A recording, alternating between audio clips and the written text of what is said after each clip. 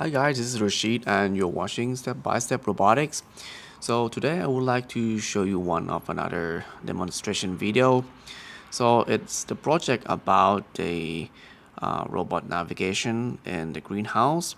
So the the goal of this project is to let the robot run in the greenhouse, which is the strawberry farm.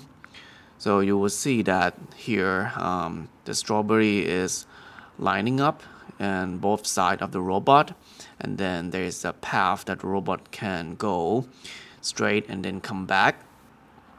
So there are 30 of this lane like this and there is the camera on the robot which is going to record the video and then that video will be used for the later analyze so about the robot navigation, for this time I didn't use the SLAM because for the environment like this, you may know that the SLAM cannot work well because uh, there is no much features for the SLAM to uh, localize itself.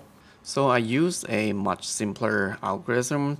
So as you can see on this diagram, so uh, you can see that there is a lower line as a timeline and it starts from the left side. So at time t, the robot start at the first lane, which is the uh, point number A. Then it's used the wall following because the on the laser, it could see some kind of like the wall from the uh, strawberries. And then once it go until uh, at B point, then it will stop and at time t plus 1 it will rotate itself to uh, change the orientation back to where it come from. And at time t point 2 it will go from uh, point F to point G to come out from that lane. And uh, lastly at time t point 3 uh, it needs to change the lane from the first lane to the second lane. Then it will move itself from point G to point I. And then after that, it needs to repeat the same process again, like the time t. Uh, so it needs to do something like this until the uh, lane 30. And here is the actual running from the robot. So you can notice that the robot try to stay in the middle of the lane so it using wall following to detect the distance of the left and right.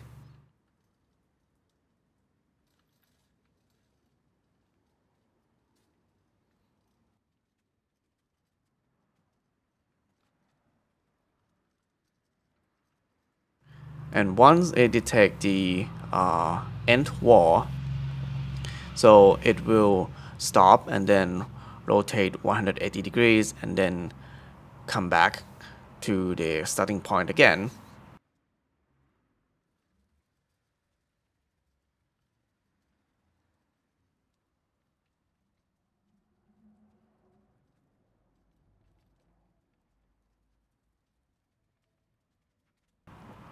So once uh, it come back to the starting point, so it will stop and then try to change the lane.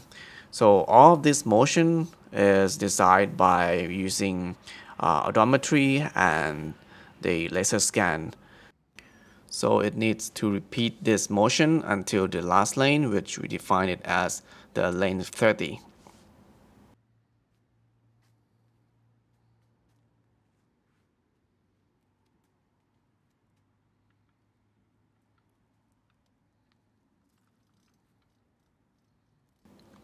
We made a flowers detection model from Darknet YOLO to detect and count flowers from recorded video.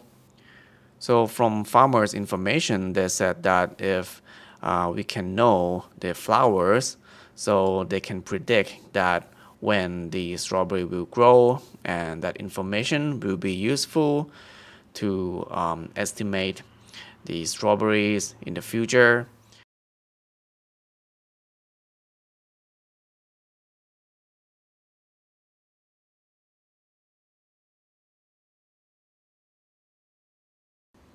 And that's it for my demonstration video. Thank you for watching.